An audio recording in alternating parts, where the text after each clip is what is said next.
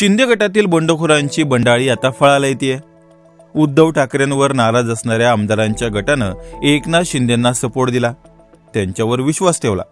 आता त्याच विश्वासाचं रिटर्न गिफ्ट मुख्यमंत्री शिंदेकडून बंडखोरांना मिळू लागले सध्याचे शिंदे फडणवीस सरकारमध्ये आरोग्यमंत्री असणाऱ्या तानाजी सावंतांनाही आता शिंदेंनी मोठं गिफ्ट दिलंय. त्यामुळे सावंतांचं स्वप्न साकार होणार आहेच पण त्यांची ताकदही बरीच वाढणार आहे. शिंदेंनी सावंतांना दिलेलं हे गिफ्ट नेमकं काय आहे? ते तुम्हाला पुढच्या दोनच मिनिटात सांगतोय पण त्याआधी हा व्हिडिओ शेवटपर्यंत नक्की पहा. महाविकास आघाडीत असताना आपल्याला मंत्रीपद मिळालं नाही. त्यामुळे तानाजी सावंत भलतेच नाराज होते. राष्ट्रवादीच्या पदाधिकाऱ्यांकडून शिवसैनिकांना त्रास होत असल्याचा आरोपही त्यांनी वारंवार केला होता.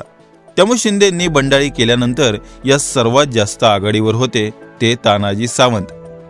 बंडखोरीनंतर त्यांना शिंदेकडून पहिला सुखद धक्का मिळाला तो जेव्हा त्यांची मंत्रिपदी वर्णी लागली तेव्हा. राज्यातील सर्वात महत्त्वाचा असा आरोग्य यंत्रणेचा गाडा ते सध्या हाकतायत. सरकारच्या अवघ्या काही महिन्यांच्या काळातच आता शिंदेंनी सावंतांना पुन्हा एकदा रिटर्न गिफ्ट दिलंय. कारण त्यांच्या शिक्षण संस्थेला आता विद्यापीठाचा दर्जा देण्याचा निर्णय शिंदे फडणवीस सरकारने घेतलाय.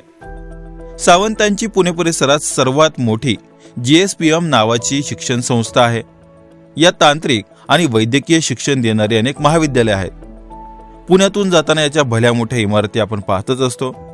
आता याच शिक्षण संस्थेला विद्यापीठाचा दर्जा देण्याचा निर्णय नुकत्याच पार पडलेल्या कॅबिनेट मीटिंगमध्ये घेण्यात आलाय. दोन हजार तेवीसच्या आसपास हे विद्यापीठ सुरू होणार आहे. सावंतांचं शिक्षण संस्थेला विद्यापीठाचा दर्जा देण्याचं विधेयक विधिमंडळासमोरही सादर केलं जाईल. हे विद्यापीठ पुण्यातील वाघोळीजवळ असेल. तेव्हा आता सावंत स्वतः एका विद्यापीठाचे मालक असतील. शिंदेंनी सावंतांना दिलेला हा सर्वात मोठा सुखद धक्का मानला जातोय. त्यामुळे शिंदे गटात आल्यानंतर पहिल्यांदा कॅबिनेट मंत्रीपद आणि आता स्वतःचं विद्यापीठ असा डबल बोनस सावंतांना मिळालाय. त्यामुळे शिंदे गटातील सर्वात जास्त बंडाळी कोणाच्या फळाला आली असेल तर ती सावंतांच्या असं म्हणायला काहीच हरकत नाही. सावंतांच्या होऊ घातलेल्या या विद्यापीठाबद्दल तुम्हाला काय वाटतं?